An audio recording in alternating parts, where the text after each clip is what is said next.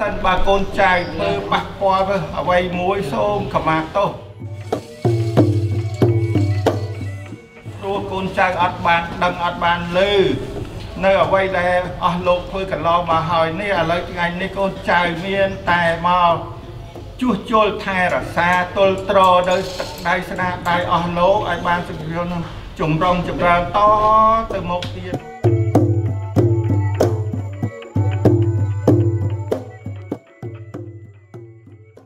បាទខ្ញុំបាទសូមជម្រាបសួរលោកសុកសោសិលាបាទលោកគឺជាអនុប្រធានប្រៃឈើទឹកនិងហេដ្ឋារចនាសម្ព័ន្ធនៃអាជ្ញាធរជាតិអប្សរាប៉ុន្តែខាងក្រៅដៃខ្ញុំបាទនេះយើងឃើញខាងក្រៅខ្នងនេះយើងឃើញមានការឋានទូចមួយនៅក្នុងថែវខាងត្បូងនៃប្រាសាទកៅវត្តប៉ុន្តែទន្ទឹមនឹងការឋាននេះក៏មានការរៀបចំដូចជាការសែនព្រេនដែរខ្ញុំចង់ដឹងថាហេតុអ្វីបានជាមានការជួសជុលនៅកន្លែងណាមួយនៅក្នុងរមណីយដ្ឋានកចាំបាច់រៀបចំការសែនព្រេននេះដើម្បីអ្វីបាទ អានេះនិយាយឲ្យចំបើសិនជាយើងនិយាយពីទំនៀមទម្លាប់ទំនៀមទម្លាប់នេះវាមានតាំងពីមុនរហូតមកអញ្ចឹងបើសិនជាយើងថាយើងចង់អឺបាត់បំបត្តិទំនៀមទម្លាប់ហ្នឹងក៏វាពិបាកបាទពាក្យថាទំនៀមទម្លាប់ហើយគឺយើងត្រូវតែធ្វើតាមទម្លាប់ដែលចាស់បុរាណគាត់រៀបចំរបៀបហ្នឹងយូរអង្វែងកន្លងមកហើយហើយធម្មតារៀងរាល់ការឋានគេតែងតែរៀប អឺពិធីសែនព្រេនតិចតួចបើសិនជាលំនៅឋានថ្មីអាហ្នឹងគេក្រុងបលីធំដុំបើសិនជាយើងចាប់ផ្ដើមជួសជុលអ្វីហ្នឹងយើងត្រូវសុំការអនុញ្ញាតដោយសារគ្រប់សំណង់ទាំងអស់ដែលចាស់បុរាណគាត់ធ្វើកន្លងមកហ្នឹងគាត់តែងតែរំលឹកទៅដល់គ្រូរបស់គាត់ដែលបានអឺសាងសង់ហ្នឹងអញ្ចឹងពាក្យថាគ្រូហើយយើងមិននឹងធ្វើអ្វីមួយយើងមិនអាចរំលងគ្រូបានទេអញ្ចឹងយើងត្រូវតែសុំ អឺអនុញ្ញាតពីគាត់សិនអញ្ចឹងហើយបានយើងរៀបចំអឺសែនព្រេនអស់នេះទោះបីនៅក្នុងជំនឿអរូបីក៏ដោយប៉ុន្តែពាក្យថាគោរពគ្រូយើងត្រូវតែរំលឹកដូចយើងតែងតែអឺសែនព្រេនឪពុកម្ដាយអញ្ចឹងបានន័យថាយើងគោរពគ្រូក៏ដូចជាឪពុកម្ដាយដែរបាទចឹងហើយបានយើងមានការសែនព្រេនតិចតួចហើយទំនៀមនៃការសែនព្រេនរបស់យើងហ្នឹងយើងតែងតែរៀបចំគេហៅថាបៃសីស្លាធរនៅខាងមុខហ្នឹងដោយសារអី ដោយសារក្នុងអឺបៃសីស្លាធរនោះគាត់តែងតែរៀបកាច់ចេញជា4ជ្រុងហើយនៅក្នុងមួយមួយវាមាន5ពាក្យថា5បានន័យថាយើងគោរពបាទថ្វាយបង្គំទៅរកគាត់ហើយបន្ទាប់មកយើងមានមលូទលាមទម្លាប់របស់យើង យើងតែងតែប្រើមលូនិងស្លាបើសិនជាយើងងាកទៅអឺរឿងនិទានវាមានពីរទី1ក្នុងការចងសម្ព័ន្ធគ្នារវាងអឺអ្នកនៅរស់និងអ្នកនៅស្លាប់ ហើយបើសិនជាយើងនិយាយពីអឺការអនុញ្ញាតយើងតែងតែប្រើមឡូសម្រាប់ជាស្លឹកបែរថាគុណមេដា បាទក្នុងការរៀបចំអស់ហ្នឹងហើយយើងតែងតែគោរពដល់គាត់ គឺមានផ្លែឈើមានអឺអឺមន់ក្បាលជ្រូកអីយើងតែងតែនិយាយថាអឺមានក្បាលមានកន្ទុយណាកាលណាយើងធ្វើស្អីមួយដែលអត់មានក្បាលអត់មានកន្ទុយអាហ្នឹង ដលងមូលគេហៅដលងមូលដូច្នេះធ្វើអ្វីក៏ដោយត្រូវតែមានក្បាលមានកន្ទុយបាទអាហ្នឹងសិតតែជាការគោរពហើយយើងដាក់ទឹកមានទឹកផ្លែឈើទឹកសូរ៉ាដោយសារអឺអឺនៅនៅនៅក្នុងនៃអស់ហ្នឹងវាវាអាចដោយសារខ្ញុំវាមិនមែនជាអ្នកអឺទំនៀមទម្លាប់ច្បាស់លាស់ផ្នែកហ្នឹងទេប៉ុន្តែយើងអាចដឹងដែរសម្រាប់អឺសូរ៉ាធម្មតាកិច្ចការដែលយើងធ្វើវាតែងតែមានអឺ ខ្វះចន្លោះបាទបាទបាទមានធ្ងន់មានស្រាអញ្ចឹងមកបានជាពាក្យន័យអស់ហ្នឹងណាដើម្បីជាការឧបកិច្ចឲ្យដឹងថានៅក្នុងហ្នឹងគ្រប់កិច្ចការដែលធ្វើវាតែងតែមានទង្គិច្ចបាទអញ្ចឹងនៅក្នុងន័យឲ្យយើងយល់ពីបញ្ហាហ្នឹងហើយយើងមានអឺផ្លែឈើមានអីហ្នឹងបានន័យថាវាមានផ្អែមវាមានជូរវាមានចត់នៅក្នុងហ្នឹងទាំងអស់បាទហើយយើងរៀបចំថ្ងៃនេះហ្នឹងដោយសារ ការសិក្សាផ្នែកហានិភ័យទៅផ្នែកផ្នែកអឺជួរនេះវាមានបញ្ហាខ្លាំងដូច្នេះយើងត្រូវអឺទល់ត្របន្ទាន់ហើយក្នុងការទល់ត្រនឹងហើយយើងត្រូវសុំគាត់មុននឹងទល់មិនមែនអឺចូលផ្ទះគេ ដោយមិនបានអឺគោះទ្វារឬមិនបានហៅគេឬមិនបានអឺសុំការអនុញ្ញាតគេ យើងត្រូវតែរៀបចំអស់ហ្នឹង បបាទខ្ញុំចាប់អារម្មណ៍តាមការឋានដោយអឺលោកបានលើកឡើងឲ្យថាជាការអឺសុំអឺដូនតាឬក៏ម្ចាស់ទឹកម្ចាស់ដីក្នុងទីនេះបាទប៉ុន្តែកន្លងមកក៏មានឃើញអឺតាមអឺនាយកដ្ឋានព្រៃឈើឬក៏ការកាប់ព្រៃឈើមួយក៏មានការសែនព្រេនជាមុនដែរបាទអឺការសែនព្រេននោះគឺដើម្បីអ្វីដែរបាទបាទដូចគ្នាអញ្ចឹងធម្មតាអឺស្អីមួយក៏ដោយវាតែងតែមានអឺគេហៅថាអរូបនិងរូបបាទអញ្ចឹងពាក្យអរូប របស់ស្អីក៏ដោយដែលគេចាប់ផ្ដើមនៅកន្លែងណាក៏ដោយវាត្រូវតែមានអ្នកថែរក្សាក្នុងថែរក្សាបែបណានោះអានឹងគឺជារឿងមួយដែលយើងអឺទំនៀមទម្លាប់តមកហើយដូចជាផ្នែកព្រៃឈើយើងច្រើនតែដែលនិយាយពាក្យថាអរុកអរិយទេវតាណារុក្ខៈអរុកអរិយបានន័យថារុក្ខៈបានន័យថាអ្នកថែរក្សាព្រៃឈើសំបីឲ្យយើងជីកដីក៏មានដែរធ្វើកំណាយបាទក៏អាចធ្វើកំណាយឬយើងធ្វើអ្វីក៏ដោយ ដោយសារយើងតែងតែនិយាយមកហ្នឹងអឺម្ចាស់ទឹកម្ចាស់ដីបាទអញ្ចឹងសិតតែមានអ្នកថែរក្សាដល់តទៅពេលយើងអឺនេះភ្នំយើងតែងតែនិយាយថាម្ចាស់ភ្នំឬអ្នកតាភ្នំបាទតើយើងអឺ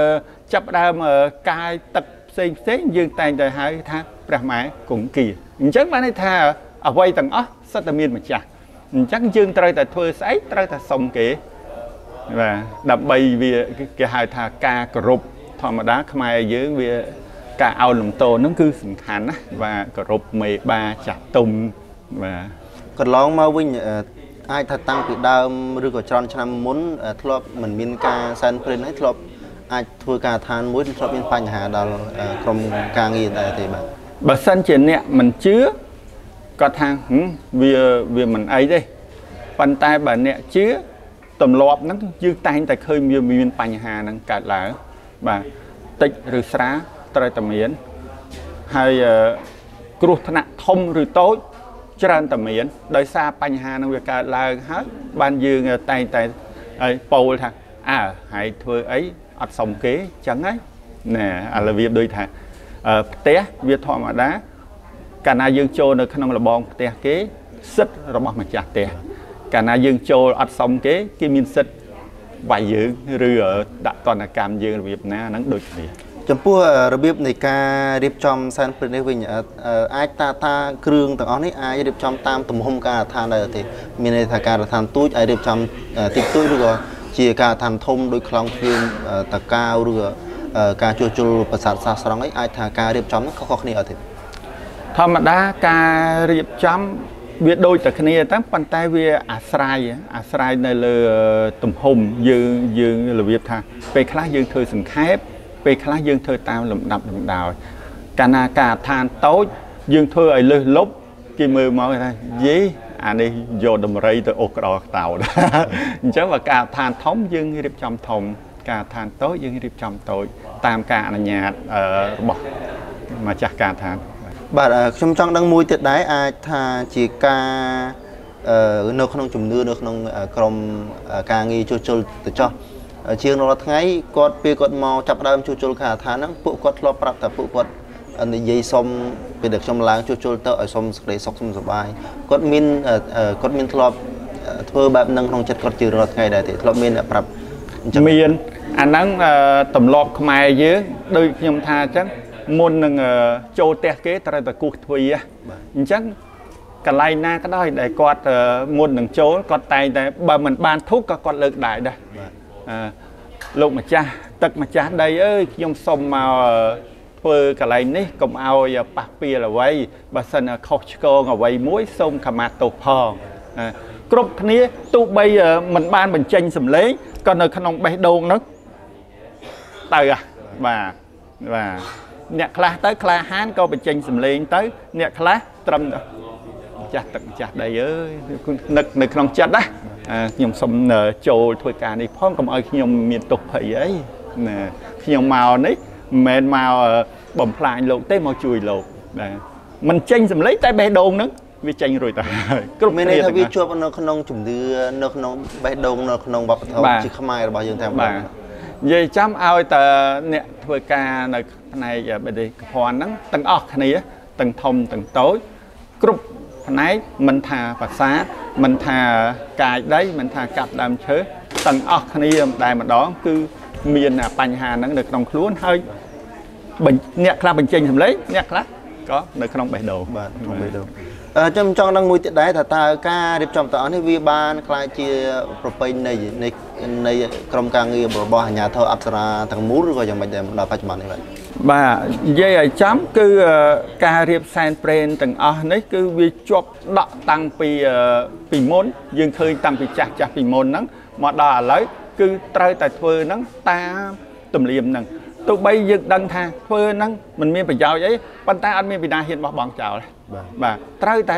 ចាប់ដើមធ្វើអ្វីមួយត្រូវតែរៀបចំអត់ហ៊ានហ្មងអត់ហ៊ានម្លងទោះបីយើងថាហឹមអឺកន្លែងហ្នឹងមិនតែហ៊ានធ្វើអីយើប៉ុន្តែយើងក៏អត់ហ៊ានទៅប៉ះពាល់ដែរ ត្រូវតែគោរពបាទអាចថាជាសំណួរចុងក្រោយដែរចំពោះអឺលោកក្នុងនាមជាចាស់ទុំម្នាក់ហើយក៏ជាអនុប្រធានយុវដ្ឋានមួយដែរប៉ុន្តែចំពោះអឺស្ថាបត្យករបុរាណវិទូដោយវ័យក្មេងវិញបាទអឺក្រៃលោកថាគាត់មិនសូវមានជំនឿក្នុងនាមបាទលោកជាចាស់ទុំម្នាក់លោកចង់មានអ្វីណែនាំពួកគាត់នៅថ្ងៃក្រោយថាបាទมันគួររំលងពិធីនេះឬយ៉ាងម៉េចដែរបាទអានេះហើយដែលយើងរៀបទៅយើងដោយសារទំនៀមនេះវាតាំងពីមុនបាទពីមុនមកដល់ឥឡូវបាទ បើសិនជាយើងមិនរៀបចំនឹងទេក្មេងៗសម័យក្រោយអត់ដឹងទេបាទអាអត់ដឹងថាស្អីដែលខ្មែរចាប់ផ្ដើមបាទมันបង្ខំឲ្យគាត់ជឿទេប៉ុន្តែឲ្យគាត់ស្វែងយល់ថាមនុស្សម្នាក់ម្នាក់ដែលចេះមកនេះមិនមែនចេះដោយខ្លួនឯងទេចេះដោយសារគ្រូដូច្នេះការរៀបនេះគឺដើម្បីរំលឹកគុណទៅដល់គាត់របៀបដូចយើងអឺមុននឹងធ្វើអ្វីមួយទោះបីឪពុកម្ដាយយើងអឺស្លាប់ទៅដោយ ក៏យើងប៉ាអើយកូនបានធ្វើអានេះហើយអានេះដូចគ្នាចឹងដែរបាទអញ្ចឹងអាស្អីដែលយើងបានប្រើវិជាពីគាត់ពីមុនមកគឺយើងរៀបចំលោកគ្រូអើយខ្ញុំធ្វើតាមអឺលោកគ្រូហើយលោកគ្រូជួយផងបាទបាទបាទអានេះក៏ដូចគ្នាចឹងដែរឲ្យគាត់ឃើញកាលណាគាត់អត់ឃើញអូមកថាយើងទៅចឹងក្មេងវាចាប់ផ្ដើមអឺបាត់អឺគេហៅថាសិលធម៌បាទបាទបាទវាងាកទៅផ្សេងវាគិតវាវាតាំងខ្លួនថា មានតែអញក្រៅពីអញអាហ្នឹងវាមិនខុសពីអារឿងប្រេងជាមួយនឹងអឺតួភីអឺប្រយុទ្ធជាមួយនឹងអឺក្រុងពីលីហ្នឹងបាទបាទតតគេលែងជឿថាអើលែងមានគ្រូមានអីហើយមានតែអញអាហ្នឹងពិបាកអាហ្នឹងបាទខ្ញុំបាទសូមអរគុណដល់លោកបាទសុកបាទសុខសាលាអរគុណដែលបានផ្ដល់បទសម្ភាសន៍ដល់សារព័ត៌មានថ្មីៗបាទសូមអរគុណបាទច្រើនបាទអរគុណ